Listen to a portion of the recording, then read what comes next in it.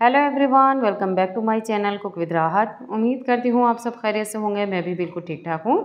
तो आज मैं लेके आई हूँ छोटे बच्चों का पसंदीदा सेरेलेक्स जिसे हम होममेड तरीके से घर में कैसे बना सकते हैं।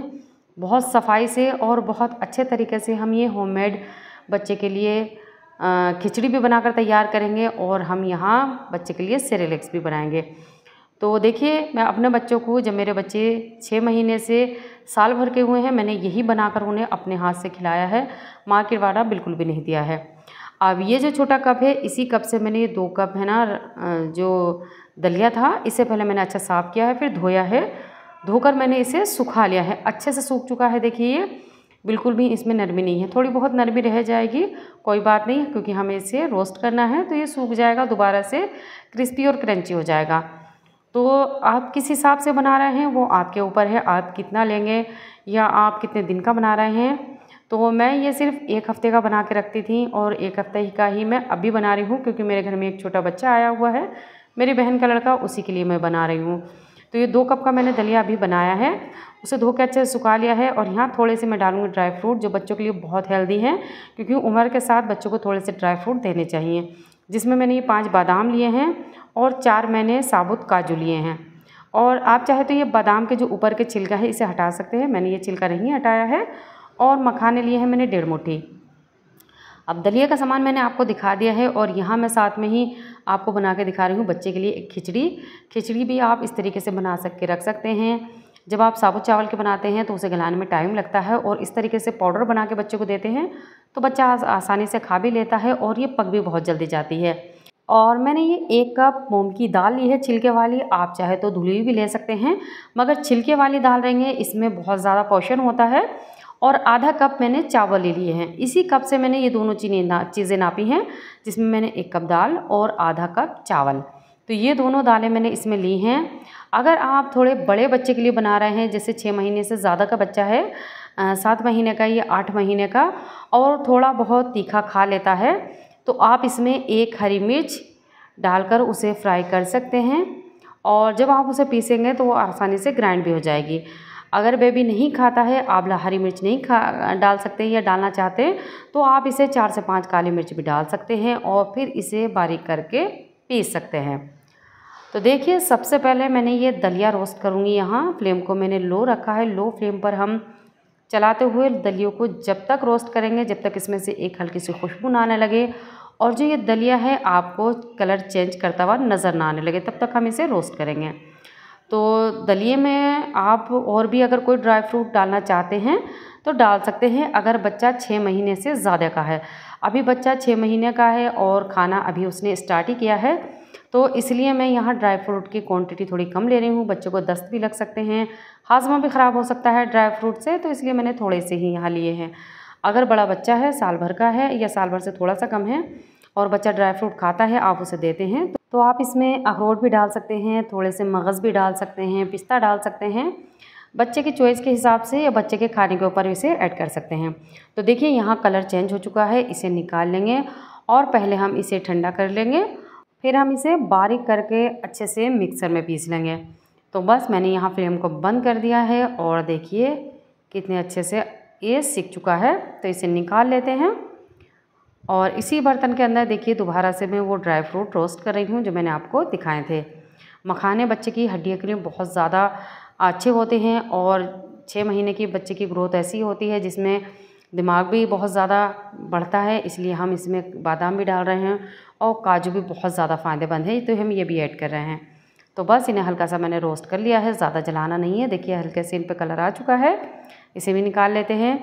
और इसी कढ़ाई में जो मैंने आपको खिचड़ी बताई थी बच्चे के लिए, उसे ही भी रोस्ट कर रही हूँ, क्योंकि मुझे इसे भी पीसना है। साथ ही में हम एक साथ सारी चीज़ों को अलग अलग इस तरीके से रोस्ट कर लेंगे। बस इनमें भी हल्की से खुशबू आने लगे कलर चेंज हो जाएगा। फिर इसे भी निकाल लेना है और निकाल कर ठंडा कर लेना है। फिर इसे भी हमें ग्राइंड कर लेना है। तो बस देखिए, यहाँ ये यह हल्का सा इसमें कलर चेंज हो चुका है अच्छे से सीख चुके हैं। इन्हें हम निकाल लेते हैं और इन्हें भी हम ठंडा कर लेंगे। बहुत अच्छी खुशबू आ रही है, यकीन मानिए, बच्चों को बहुत पसंद आएगा ये। अब देखिए, ये भी ठंडा हो चुका था, दलिया मैंने जो रोस्ट किया था, पहले हम दलिए को ग्राइंड करेंगे क्योंकि हमें इसे काफ़ी दफ़ा निकाल कर छानना है और ये भी देखिए, अच्छे से सीख चुके हैं और ये अच्छे से ठंडे भी हो चुके हैं। दो चम्मच मैंने यहाँ चीनी ली है, मीठा आप अपने बच्चे के हिसाब से लें, क्योंकि शुरुआत में मीठा बच्चे को कम दें, क्योंकि मीठा ज़्यादा फ़ायदेमंद नहीं होता है, नुकसान की चीज़ है। इसकी जगह आप थोड़ा सा गुड़ भी डाल के दे सकते हैं। तो बस, देखिए यहाँ ले लिया मैंने एक जार और ये पहले मैं सबसे पहले दलिया डालूँगी, रोस्ट किया हुआ, और इसे मैं ग्राइंड कर लूँगी। और देखिए, मैंने यहाँ पीस लिया है और अच्छा सा देखिए पाउडर बन चुका है, मगर मुझे इसे छानना है क्योंकि बच्चा अभी छोटा है तो इसलिए मैं छान रही हूँ। अगर बच्चा बड़ा है, जैसे मैंने आपको बताया छः महीने से ऊपर का है और खा लेता है तो आप इस तरीके से भी बच्चे को दे सकते हैं बनाकर दूध में। दूध में ये पकाना पड़ेगा थोड़ा सा, साबुत दलिया थोड़ा देर से गलता है और पिसा हुआ दलिया जो हम इस तरीके से बनाएँगे, जल्दी हो जाता है। बस ये छान लिया है, फिर से पीसेंगे हम। और बच्चों को ये बहुत पसंद आता है, एक बार बना के देंगे, आप मार्केट का सेरेलेक्स भूल जाएँगे बच्चों को देना और इसी तरीके से घर में बनाकर अपने बच्चों को खिलाया करेंगे। फ़ायदेमंद भी है और आपको पता भी है आपने किस तरीके से बनाया है, कितनी सफ़ाई से बनाया है अपने बच्चों को पूरी ध्यान में रख के सफ़ाई को। तो बस ये देखिए, मैंने तीसरी बार भी इसे ग्राइंड कर लिया है और ये थोड़ा सा बचा है, इसे हम निकाल लेंगे। अब हम इसे नहीं ऐड करेंगे क्योंकि मिक्सर में अब नहीं पिस रहा। तो इसे निकाल देते हैं, जो बचा है उसी का प्रोसेस पूरा करते हैं। तो देखिए थोड़ा सा ये दरदरा है, जैसे सूजी होती है, उसी तरीके का बनकर तैयार हुआ है। तो इसे रखते हैं साइड, इसमें ऐड कर देंगे चीनी, दो चम्मच, और वो ड्राई फ्रूट जो हमने रोस्ट किए थे। बस इन्हें हम जब तक पीसेंगे, जब तक इसका पाउडर नहीं बन जाता। और देखिए, पीस के ये बिल्कुल पाउडर जैसा हो चुका है। देखिए, इस तरीके का होना चाहिए। पकने के बाद ये दूध में आप जब पकाएँगे इसे दूध में तो ये अच्छे से गल जाएगा, इस तरीके से कैड़ा बिल्कुल नहीं रहेगा। अब ये सब हम इसके अंदर ऐड कर देते हैं और अच्छे से मिक्स कर लेंगे इसे। और इसे हम किसी भी साफ़ बर्तन के अंदर भर के रखेंगे, किसी भी साफ़ डब्बे में। और बच्चे को जब आप बनाना हो, बच्चे के हिसाब से इसकी मात्रा लें और बना के दे सकते हैं। छः महीने के बच्चे को तकरीबन दो चम्मच से ढाई चम्मच तक बना कर दें। ज़्यादा एकदम से नहीं देना है, क्योंकि बच्चों को शुरुआत में थोड़ा कम ही देना है। बच्चे जैसे खाने लगे, बच्चे की खुराक बढ़ने लगे तो क्वान्टिटी को आप बढ़ाते रहें। दूध में अच्छे से पकाएँ, जब ये बिल्कुल गाढ़ा हो जाए क्रीमी हो जाए, तब बच्चों को दें। और देखिए, ये मैंने अच्छे से मिक्स कर लिया है। और यहाँ देखिए, एक इस तरह का मैंने एक साफ़ बर्तन धो के रख दिया था। ये कांच का डब्बा लिया है, आप प्लास्टिक के डब्बे में या और तरीके के डब्बे में भी इसे कर सकते हैं। मगर साफ़ होना चाहिए, धोकर ही करें, इसमें किसी तरह की स्मेल नहीं होनी चाहिए। आप ये जो पाउडर मैंने बनाया है सेरेलेक्स इसे इसमें ऐड कर देंगे और इसे हम बंद करके रख देंगे। ये हफ़्ते भर आराम से चल जाएगा। अगर आप ज़्यादा टाइम के लिए बना रहे हैं, ये छः महीने तक भी बिल्कुल ख़राब नहीं होएगा। बस इसे रोस्ट करते टाइम ध्यान रखें, अच्छे से रोस्ट होना चाहिए, इसके अंदर बिल्कुल भी सीलन नहीं होने चाहिए और जो डब्बा हो वो बिल्कुल सूखा होना चाहिए और इसे एयर टाइट ही करके रखें। बस ये मैंने इसमें सारा देखिए, एक बार का, एक हफ़्ते का बच्चे का बन चुका है। और मैंने ये मेरे घर में छोटा बेबी आया है, ये मैंने उसी के लिए बनाया है। मैंने सोचा आपके बच्चों के लिए भी वीडियो शेयर की जाए। अब ये हो चुका था, अब बना लेते हैं हम खिचड़ी। और जो बच्चों की खिचड़ी है, अभी छोटा ही है बेबी जो मेरे घर में आया छः महीने का है तो ये मैंने उसी के लिए बना रही हूँ। तो ये मैं पीस के बना रही हूँ। आप चाहे तो दरदरा पीसे, मैं थोड़ा इसे फाइन करके पीसूँगी। ये पक बहुत जल्दी जाएगा। बड़ा बच्चा है तो बड़े बच्चों को आप नॉर्मल खिचड़ी जैसे घर में बनाते हैं, मूँग की दाल की वही बना के खिला सकते हैं। और ये बड़े बच्चे के लिए बना रहे हैं छः महीने से ऊपर के बच्चे के लिए तो इसमें हरी मिर्च भी ऐड करें। एक एक हरी मिर्च जितना बच्चा तीखा खा लेता हो, अगर हरी मिर्च नहीं डालना चाहते हैं तो आप इसमें काली मिर्च भी डाल सकते हैं, तीन से चार। बस इसे पीस लेंगे। और देखिए, यहाँ मैंने इसे पीस लिया है अच्छे से, और इसे मुझे छानना नहीं है। मैं इसे छानूँगी नहीं, क्योंकि मैंने बताया है, इसके अंदर मूंग की दाल है, बहुत ज़्यादा फ़ायदेमंद है। और हरी दाल मैंने छिलक वाली इसलिए दी, ली थी, क्योंकि उसके अंदर बहुत ज़्यादा पोषण होता है। तो बस इसे भी हम डब्बे में कर लेंगे। इससे पहले हम डालेंगे इसमें नमक। नमक बच्चे के टेस्ट के अकॉर्डिंग थोड़ा कम रखें नमक भी ज़्यादा अच्छा नहीं होता है बच्चे के सेहत के लिए, मगर बढ़ती ग्रोथ है तो बच्चे के लिए नमक ज़रूर ऐड करें। तो यहाँ देखिए मैंने आधा चम्मच इसमें नमक ऐड किया है और इसी नमक से हम बस इस खिचड़ी को तैयार करेंगे। अलग से नमक बिल्कुल नहीं ऐड करेंगे। नमक डाल देंगे, एक बार और इसे पीस लेंगे हम। और देखिए यहाँ फिर से मैंने पीस लिया है। बस इसी तरीके से आप खिचड़ी बना के तैयार कर सकते हैं।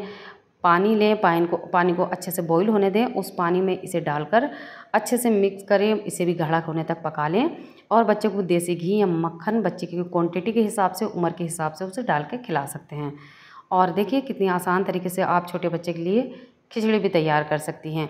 तो ये हमने खिचड़ी वाली, नमकीन खिचड़ी भी बच्चे के लिए बनाकर रेडी कर ली है। मैंने अपने बच्चों को इसी तरीके से बनाकर खिलाया है। जब मेरे बच्चे छोटे थे, अब वो बड़े हो चुके हैं तो मैं नहीं बनाती हूँ। और देखिए, इस तरीके से दोनों चीज़ें मैंने अच्छे से ढक के रख दी हैं। ये मेरी हफ़्ते भर की हैं। महीना भर की भी बनाऊँगी तो ये महीने भर के लिए भी ख़राब नहीं होगा। मगर बच्चों के लिए हमें थोड़ा फ्रेश ही बनाना चाहिए। एक हफ़्ते का या पंद्रह दिन का आप बना के रखें और अपने बच्चों को खिलाएँ। बच्चे इससे बहुत ज़्यादा सेहतमंद भी होंगे, बच्चों को फ़ायदा भी बहुत देगा।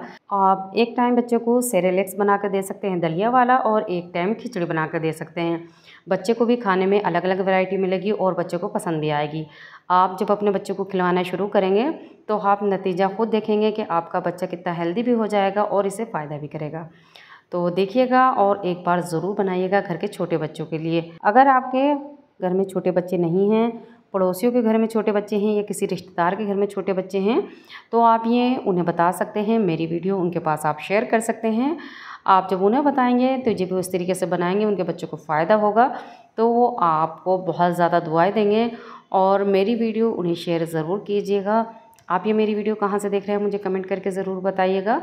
और इंस्टाग्राम फेसबुक पर भी मुझे फॉलो कर सकते हैं। अपने कमेंट और अपनी राय वहाँ मुझे अच्छी अच्छी दे सकते हैं। तो देखिए, मैंने यहाँ लेबल भी चिपका दिया है इस पर मुझे भी याद रहेगा। आप भी इस तरीके से लेबल चिपका लेंगे तो आपको भी याद रहेगा। बस बनाएँ और अपने बच्चे के साथ इंजॉय करें। आप इसे रिश्तेदारों में भी छोटे बच्चों के लिए बनाकर गिफ्ट कर सकते हैं, क्योंकि घर का हेल्दी बना खाना सबको बहुत ज़्यादा पसंद आता है। आप ये मेरी वीडियो कहाँ से देख रहे हैं, मुझे कमेंट करके ज़रूर बताइएगा। आप मेरी वीडियो इंस्टाग्राम फेसबुक पर भी फॉलो कर सकते हैं, अपनी कमेंट अपने राय वहाँ दे सकते हैं। और अगर आपको कोई बात, चीज़ इसमें समझ में नहीं आई हो तो आप मुझे कमेंट करके पूछ सकते हैं। मेरी ऐसी ही और वीडियो देखने के लिए मेरी इस वीडियो को लाइक करें। शेयर करें, कमेंट करें। मेरे चैनल को सब्सक्राइब करें, बेल बटन को ज़रूर दबाएँ। मेरी वीडियो देखने के लिए आप सभी लोगों का बहुत बहुत शुक्रिया।